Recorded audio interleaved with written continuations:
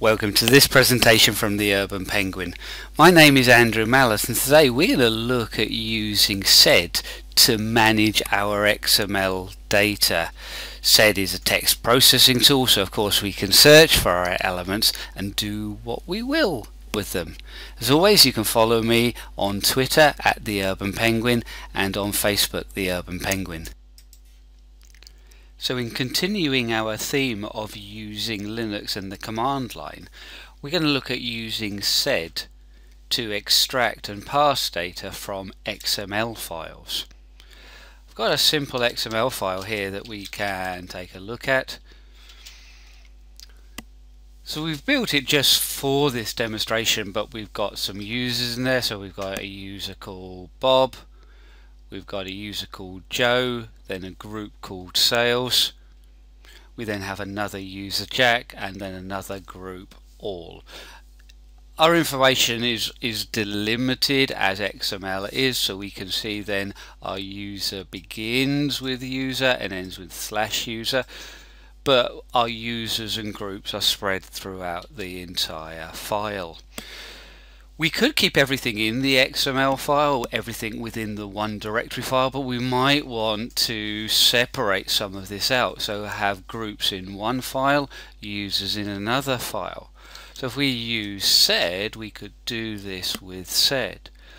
We're going to go in and we're going to say that we want to search for, and this I'm definitely going to put in my double quotes for what we want to search for and of course we want to look in the directory file.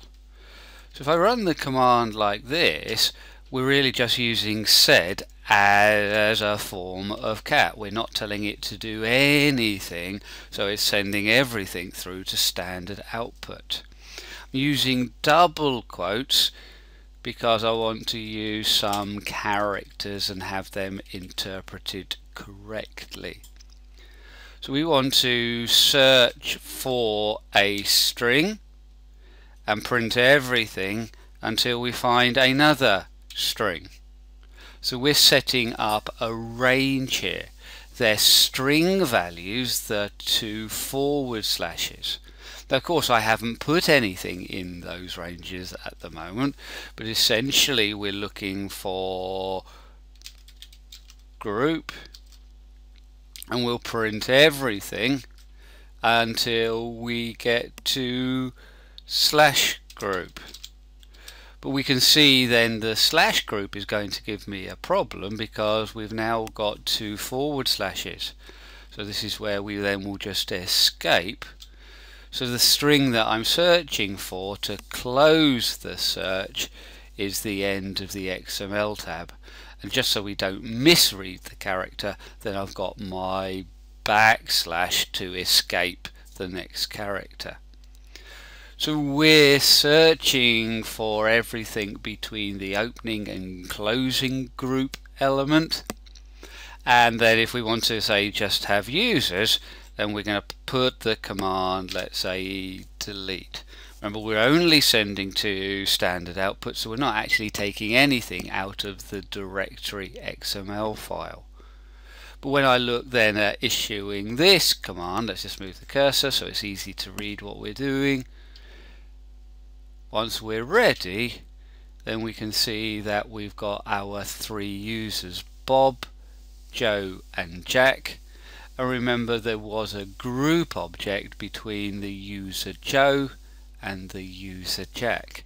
Of course, if I want this then to go to another file, remember I haven't deleted anything, so even though we're using the delete operator, that's just working on our pattern space and affecting what we send through to standard output.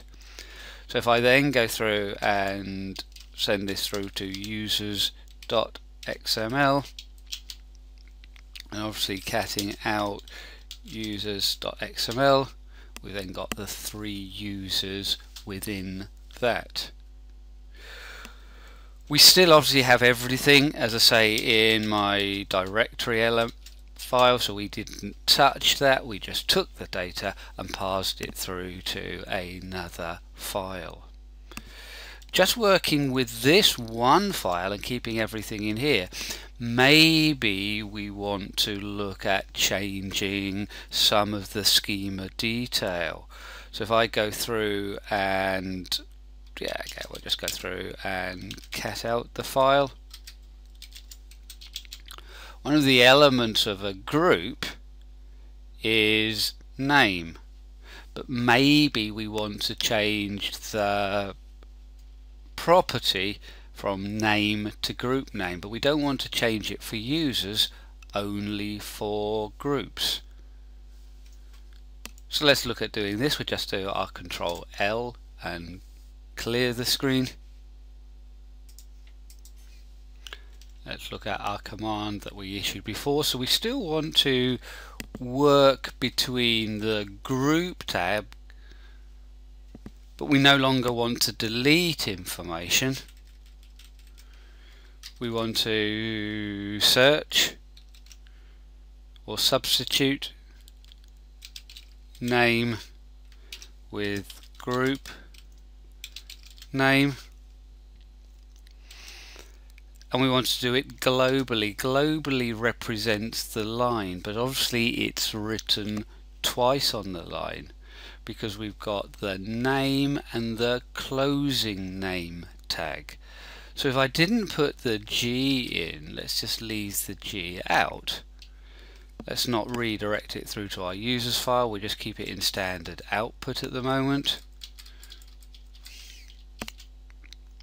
So as we go through, we find name and we replace name with group name. But if we don't have the global option, on the same line then when we find the next name value we don't change it. Global still applies or without global we still apply to the complete range that we're looking for but only the first occurrence on each line. So we can see we're still only affecting the group XML options but we need to make sure that we're changing both the opening and closing element so in this case, in our substitute, we have to use the global option as well. Now when we run this, we can see then within our group object we've changed the schema value of name through to group name. Same for the group here, the all group, we've got group name and closing group name. Of course, as we saw before, sed is only sending to standard output. So if we did want to make the change and make it stay permanently, we could send it through to another file, but if we want to make the change to this file, then we can change it to sed minus i, so we're going to do the in-place edit. We're still searching for the range starting from group and finishing on slash group, and we're going to substitute name for group name globally. Globally is referring to the scope of each line so we're going to make multiple changes to each line. We're working on the directory file so now when we cat out the directory file we can see that we've now made our edit permanent into the file rather than just standard output. So hopefully this will give you a few ideas of how you can use Linux and SED within your own environment. We first looked at deleting our groups to separate our users and groups into different XML files.